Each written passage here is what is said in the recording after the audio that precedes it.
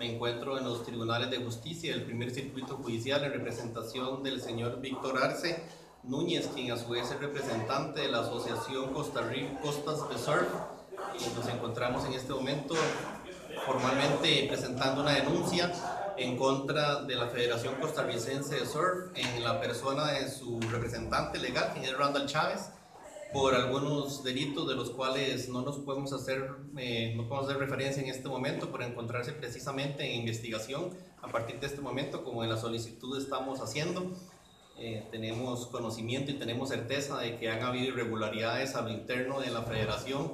Es todo lo que nos podemos referir. Eh, en un comunicado posterior haremos referencia a la ampliación y a, las, y a algunos de los detalles de la denuncia que estamos presentando en este momento.